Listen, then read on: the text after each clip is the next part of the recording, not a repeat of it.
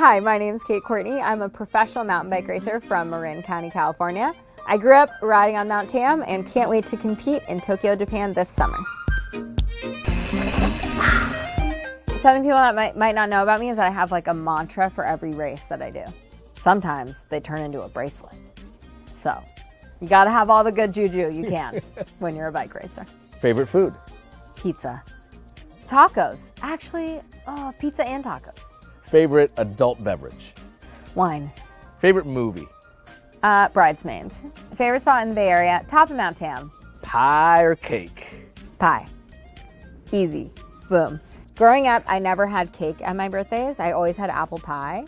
And I've only met one person in my entire life who also has only had pie at all their birthdays, and it is my fiance Will. So it was like meant to be. We're gonna eat pie. It's done.